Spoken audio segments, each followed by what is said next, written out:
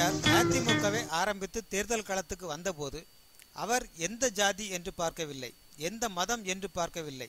ஒட்டுமொத்த தமிழக மக்களும் அவருக்கு ஆதரவாக நின்றார்கள். குறிப்பாக சொல்வதனால் தாழ்த்தப்பட்ட மக்களின் தெய்வமாகவே விளங்கினார் எம்ஜிஆர். எம்ஜிஆருக்கு பின் ஜெயலலிதா ஆட்சிக்கு வந்தபோதும் எம்ஜிஆரின் பின்னால் இருந்த ஒட்டுமொத்த மக்களும் ஜெயலலிதா பின்னால் அணிதிரண்டனர். காலம் செல்ல செல்ல உடன்பிறவா தோழியாக வந்து சேர்ந்த சசிகலா நடராஜன் மெல்ல மெல்ல அரசியல் நிகழ்வுகளில் தலையிட ஆரம்பித்தார். அவர் சமூகத்தை சார்ந்தவர்களுக்கு கட்சியிலும் ஆட்சியிலும் முக்கியத்துவம் கிடைக்கிற மாதிரி பார்த்து கொண்டார்.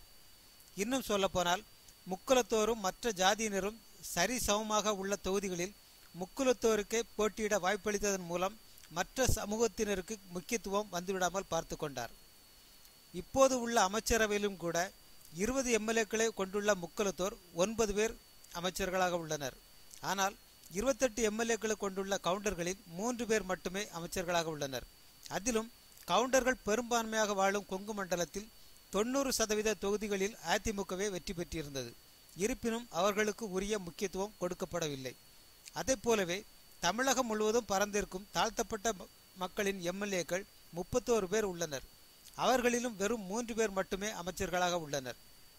இப்போது ஜெயலலிதா மறைந்துவிட்ட நிலையில் சசிகலா நடராஜனின் கைகளில் கட்சி சிக்கி தவிக்கிறது. அவரை அதிமுகவின் பொதுச் செயலாளராகவும் தமிழகத்தின் முதல்வராகவும் ஒரு படையே துடித்து கொண்டிருக்கிறது. இன்று சசிகலா நடராஜனுக்கு ஆதரவாக களத்தில் இறங்கியிருக்கும் நபர்களையோ அமைப்புகளையோ பார்த்தாலே தெரியும்.